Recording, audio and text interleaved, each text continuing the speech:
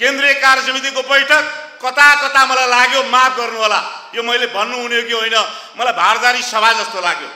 महाराजको इसारा जता छ त्यतैतिर आवाजहरू आउँछन्।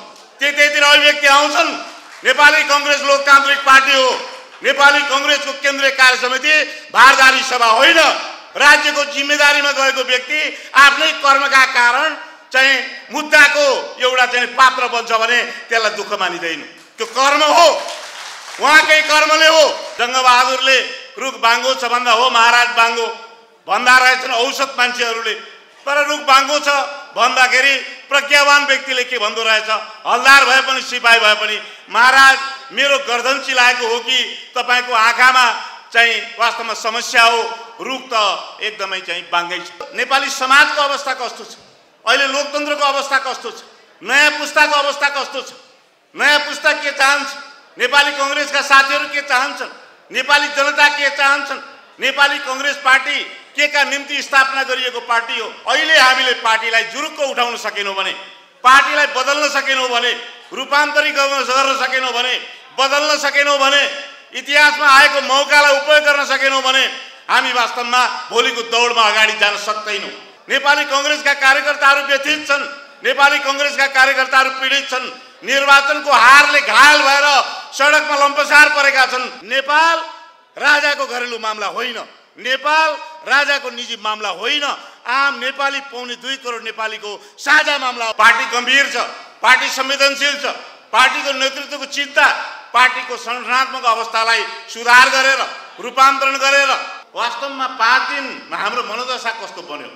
हामीले केन्द्रीय कार्य समितिमा उहाँले व्यक्त गरेका विचारहरूका बारेमा कस्तो धारणा बनायौँ? त्यो बेग्लै कुरा हो। उहाँले के के कुरा गर्नुभयो त्यो बेग्लै कुरा हो। के केमा प्राथमिकता दिनुभयो? उहाँहरूको चेतना स्तर उहाँहरूको बुझाइको स्तर र उहाँहरूको चाहिँ अभिव्यक्तिको हामीले स्तर सबै कुरा हामीले थाहा पायौँ उहाँहरूको प्राथमिकता थाहा पायौँ। त्यसमा मलाई धेरै कमेन्ट गर्नु छैन। त्यसको बारेमा पार्टीका साथीहरूले मूल्याङ्कन गर्नुहुनेछ मुलुकले मूल्याङ्कन गर्नेछ आउने पुस्ताले मूल्याङ्कन गर्नेछ। वास्तवमा आज स्मृति सप्ताह मनाउँदै गर्दा अब भोलि नेपाली कङ्ग्रेसको बैठकले निर्णय गरेर आफ्नो निर्णयहरू सार्वजनिक गर्दा निर्णयहरू कस्ता आउँछन्? निर्णयहरू कार्यतालिका आउला र अरू थप के के निर्णय आउँछन्?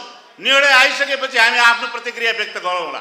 निर्णय आइसकेपछि आफ्नो धारणा व्यक्त गरौँला। निर्णय आइसकेपछि आफ्ना बुझाइहरूलाई हामी सार्वजनिक गरौँला। किनभने हामी झन्डै झन्डै महिनाभरि देशव्यापी रूपबाट पार्टीका धारणाहरू बुझेर आएका छौँ। पार्टीका सुझावहरू लिएर आएका छौँ। पार्टीका गुनासाहरू लिएर आएका छौँ। पार्टीका साथीहरूका चाहिँ वास्तवमा उहाँहरू कति तनावग्रस्त हुनुहुन्छ उहाँहरू कति चिन्तित हुनुहुन्छ। मुलुकको अवस्था कस्तो छ? पार्टीको अवस्था कस्तो छ? र पार्टीलाई हामीले रूपान्तरित गर्नुपर्ने कारण के हो? आवश्यकता के हो? औचित्य के हो? ती सबै कुरा हामीले सूत्रबद्ध गरेर लिएर आएका छौँ। ती कुरा हेर्ने फुर्सद भयो कि भएन? पार्टीका नेताहरूलाई। पार्टी सभापतिज्यूलाई फुर्सद भयो कि भएन? पार्टीका केन्द्रीय नेताहरूलाई फुर्सद भयो कि भएन? पार्टीको निर्णय आउँदाखेरि त्यो कुरा प्रतिबिम्बित भयो भने चाहिँ बल्ल हामीले बुझ्नेछौँ पार्टी गम्भीर छ पार्टी संवेदनशील छ। पार्टीको नेतृत्वको चिन्ता पार्टीको संगठनात्मक अवस्थालाई सुधार गरेर रूपान्तरण गरेर कार्यकर्ताको गुनासोलाई कार्यकर्ताको आक्रोशलाई कार्यकर्ताको तनावलाई कार्यकर्ताको चिन्तालाई सङ्गठनको अहिलेको वस्तुस्थितिलाई सम्बोधन गरेर पार्टी अगाडि जान्छ कि जाँदैन भन्ने कुरा बल्ल हामीले बुझ्नेछौँ पार्टीको निर्णयबाट थाहा पाउनेछौँ आदरणीय साथीहरू। पौराणिक ग्रन्थहरूले धर्मशास्त्रहरूले हामीलाई धेरै कुरामा मार्गनिर्देश गरेका छन् धेरै ज्ञान छोडेर गएका छन्। सामवेदमा एउटा श्लोक रहेछ मैले पढ्दै जाँदा देखेँ जनस्य गोपा अजनिष्ठ जाग्रवी भन्ने एउटा श्लोक रहेछ। जनस्य गोपा अजनिष्ठ जाग्रविही भन्ने एउटा श्लोक रहेछ। यो भने के हो भने अन्तस्करण खुलेको अथवा जागृत मानिसले मात्रै समुदायको रक्षा गर्न सक्छ। Only an awaken person can protect the society only an awaken person can protect the society अङ्ग्रेजीमा त्यो भन्दो रहेछ। भनाइको मतलब नेपालीको नेपाली समाजको अवस्था कस्तो छ? अहिले लोकतन्त्रको अवस्था कस्तो छ? नयाँ पुस्ताको अवस्था कस्तो छ? नयाँ पुस्ता के चाहन्छ नेपाली कङ्ग्रेसका साथीहरू के चाहन्छन् नेपाली जनता के चाहन्छन् नेपाली कङ्ग्रेस पार्टी के का निम्ति स्थापना गरिएको पार्टी हो? प्रातस्मरणीय नेताले आफ्नो जीवनको ध्येय के बनाउनु भएको थियो? आफ्नो उद्देश्य के बनाउनु भएको थियो? वास्तवमा अर्को पनि सँगसँगै मैले पढेँ एकजना सन्तको भारतीय सन्तको एउटा भनाइ पढेँ। प्रज्ञावान व्यक्तिले मात्रै प्रज्ञावान व्यक्तिले मात्रै सहीलाई सही गलतलाई गलत भन्न सक्दो रहेछ। प्रज्ञावान व्यक्तिले ज्ञानी व्यक्तिले मात्रै नभए गलतलाई पनि गलत जङ्गबहादुरले रुख बाङ्गो छ भन्दा हो महाराज बाङ्गो भन्दा रहेछन् औसत मान्छेहरूले।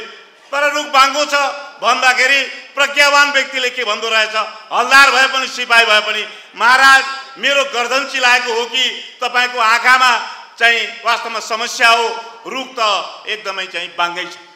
भनाइको मतलब मैले भन्न खोजेको कुरा के हो भने पार्टीको स्थिति के छ? केन्द्रीय कार्य समितिको धेरै लामो चाहिँ बैठक पाँच दिनको बैठक हेर्दा हामीले के दियौँ भने हामीले अहिले पनि प्राथमिकता तय गर्न सकेका छैनौँ। शेखर दाईले बाह्र तेह्र बुधामा आफ्नो कन्टेन्ट प्रस्तुत गर्नुभयो। मैले कन्टेन्ट हेरेँ। कन्टेन्टका कुराहरू धेरै गम्भीर छन् उहाँले उठाउनु भएका भाषा शैली शालीन छ तर विषयवस्तुहरू धेरै गम्भीर छन्। यो मुलुक कस्तो हो भने हुन्डरीलाई बुझ्छ हावाहुरीलाई बुझ्छ। शालीनतालाई मुलुकले बुझ्दैन। पार्टी सङ्गठनमा पनि हामीले राखेका कुराहरूलाई गम्भीरतापूर्वक लिने हो भने उहाँका कुराहरू धेरै गम्भीर कुरा छन्। उहाँले दिशानिर्देश गर्न खोज्नु भएको छ। त्यसैले साथीहरू हामीले चाहिँ के कुरा उठाइराखेका छौँ भने अहिले हामीले पार्टीलाई जुरुक्क उठाउन सकेनौँ भने पार्टीलाई बदल्न सकेनौँ भने रूपान्तरित गर्न गर्न सकेनौँ भने बदल्न सकेनौँ भने इतिहासमा आएको मौकालाई उपयोग गर्न सकेनौँ भने हामी वास्तवमा भोलिको दौडमा अगाडि जान सक्दैनौँ। मैले उन्नाइस सय उनसत्तरीको एपोलो एघारको एउटा प्रसङ्ग मैले पढेको थिएँ। उन्नाइस सय उनसत्तरीको जुलाईको पन्ध्रमा अमेरिकाको एउटा यान चन्द्रमाका लागि पठाइयो। चार दिन पुरा गरेर त्यो यान चन्द्रमामा ल्यान्ड भयो। चन्द्रमामा ल्यान्ड भएपछि त्यो एपोलोमा तिनजना यात्रीहरू थिए। एकजना थिए बज एल्ड्रिन अर्का थिए निल आर्मस्ट्रङ अर्का थिए माइकल कोलिन्स। तिनजना यात्रीमध्ये माइकल कोलिन्सले यानलाई सम्हालिराखेका थिए। निल आर्मस्ट्रङ र बज एल्ड्रिनलाई चन्द्रमामा पाइला राख्ने पहिलो अवसर थियो। सबभन्दा पहिलो अवसर बज एल्ड्रिनलाई थियो। बज एल्ड्रिनले हिचकिचाए उनले। उनले सङ्कोच माने अथवा त्यहाँ उत्रनलाई उनलाई हडबडाहट भयो। उनले निल आर्मस्ट्रङतिर हेरे। निल आर्मस्ट्रङले बज एल्ड्रिनतिर हेरे। निल आर्म आर्मस्ट्रङले इसारा गरे बज एल्ड्रिन तिम्रो पालो छ तिमी उत्र भन्दा बज एल्ड्रिन उत्रन सकेनन्। निल आर्मस्ट्रङ उत्रिए। आज दुनियाँलाई बज एल्ड्रिनको नाम थाहा छैन। निल आर्मस्ट्रङको नाम थाहा छ। अन्तरिक्ष चन्द्रमामा पाइला राख्ने पहिलो व्यक्तिको हो भन्दा निल आर्मस्ट्रङ भनेर दुनियाँले सम्मान गर्छ। मैले भन्न खोजेको कुरा के हो भने अवसरले पर्खँदैन। अवसर आउँछ जान्छ। हामीलाई लाग्यो कि नेपालमा नेपाली कङ्ग्रेसलाई जुरुक्कै उठाउनका निम्ति कसै न कसैले अग्रसरता लिनुपर्छ। कसै न कसैले पहल कदमी गर्नुपर्छ। नेपाली कङ्ग्रेसका कार्यकर्ताहरू व्यथित छन्। नेपाली कङ्ग्रेसका कार्यकर्ताहरू पीडित छन्। निर्वाचनको हारले घायल भएर सडकमा लम्पसार परेका छन्। यस्तो बेलामा पार्टीले इतिहासको यो घडीमा गम्भीरतापूर्वक छलफल गरेर मलाई अचम्म लाग्छ। केन्द्रीय कार्यसमितिमा जति गम्भीरता हुनुपर्ने त्यति गम्भीरता मैले देखिनँ। केन्द्रीय कार्य समितिको बैठक कता कता मलाई लाग्यो माफ गर्नु होला यो मैले भन्नु हुने कि होइन? मलाई भारदारी सभा जस्तो लाग्यो। महाराजको इसारा जता छ त्यतैतिर आवाजहरू आउँछन्। त्यतैतिर अभिव्यक्ति आउँछन्। नेपाली कङ्ग्रेस लोकतान्त्रिक पार्टी हो। नेपाली कङ्ग्रेसको केन्द्रीय कार्य समिति भारदारी सभा होइन। पार्टी प्रमुखको इसारामा जता चाहिँ पार्टी सभापतिले इसारा गर्नुहुन्छ त्यतै बोल्ने आज त्यो मैले देखेँ। अर्को कुरा आज मैले भन्नै पर्छ। बिपी स्मृति समारोहमा बिपी कोइरालाको तस्बिरलाई साक्षी राखेर मैले भन्नै पर्छ। एउटा प्रसङ्ग आयो। हामी रूपान्तरण अभियानमा लागेका व्यक्तिहरूलाई लक्षित गरेर एउटा कुरा आयो। गृहमन्त्री कहाँ आफ्नो पार्टीको साथीलाई दुःख पर्दा गृहमन्त्री कहाँ चाहिने डेलिगेसन जाने आफ्नो साथीलाई दुःख पर्दा गृहमन्त्रीलाई धन्यवाद दिन जाने भन्ने कुरा आयो। दुःख केलाई भनिन्छ? दुःख त्यसलाई भनिन्छ। तपाईँको माता पिता गुमाउनु भयो तपाईँलाई दुःख पर्यो। तपाईँको घरमा आग भयो तपाईँलाई दुःख पर्यो। प्राकृतिक विपद अथवा दैवी विपत्ति आयो तपाईँलाई असाध्य गम्भीर रोग लाग्यो। तपाईँले छोराछोरी गुमाउनु भयो तपाईँलाई आपत आइलाग्यो भने त्यसलाई दुःख मानिन्छ। दुःख र कर्म फरक हो। दुःख र कर्मको भेद छुट्याउन जान्नुपर्छ। केन्द्रीय समितिका साथीहरूले दुःख र कर्मको भेदै छुट्याउनु भएन। हेर्नुहोस् दुःख पऱ्यो भनिदिनु भयो कर्मका कारण राज्यको जिम्मेदारीमा गएको व्यक्ति आफ्नै कर्मका कारण चाहिँ मुद्दाको एउटा चाहिँ पात्र बन्छ भने त्यसलाई दुःख मानिँदैन। त्यो कर्म हो। उहाँकै कर्मले हो। जति पनि व्यक्तिहरू आज चाहिँ भ्रष्टाचारको प्रकरणमा मुछिएका छन् भने अनुसन्धानबाट निष्पक्ष भोलि चाहिँ छानबिन भएर कारवाही हुने हो कि नहुने हो एउटा टुङ्गो लागोस्। हामी आग्रह गर्छौँ कारवाही गर्ने निकाय अनुसन्धान गर्ने निकायले हाम्रो पार्टीको आदरणीय नेता हो उहाँ। हामी असाध्य हामी उहाँलाई सम्मान गर्छौँ। उहाँहरूले मात्रै सम्मान गर्ने होइन। सम्मानको ठेक्का उहाँहरूले मात्रै लिएको होइन। सम्मान हामी पनि गर्छौँ। नेभी सङ्घबाट गएको राजनीति गरेको तरुण दलबाट गएको व्यक्तिको सम्मान हामीले पनि गर्छौँ। सम्मानको ठेक्का र जिम्मा उहाँहरूको मात्रै होइन। उहाँहरू उहाँ निर्दोष साबित हुनुहोस्। उहाँलाई छानबिन गर्दा दोष नगरेको प्रमाणित होस्। म आग्रह गर्न चाहन्छु तर दुःखको एउटा परिभाषामा लपेटेर राज्यको जिम्मेदारीमा जाँदा यदि गलत काम गर्नुभएको छ भने राज्यले उहाँलाई कारवाही गर्नै पर्छ। र अहिले निलम्बन भनेको कारवाहीको कुरा थिएन। निलम्बन भनेको कारवाहीको प्रक्रियालाई सहजता दिनका निम्ति उहाँले जिम्मेदारीबाट आफूलाई अलग राख्नुहोस्। बिपी कोइरालाले चलाउनुहोस्। जीवनको उत्तरार्धमा अलोकप्रिय नहुनुहोस्। जनताले उठाएको प्रश्नलाई अन्यथा नलिनुहोस्। गाली र आलोचना भनेको विरोध भनेको एकदमै फरक कुरा हो।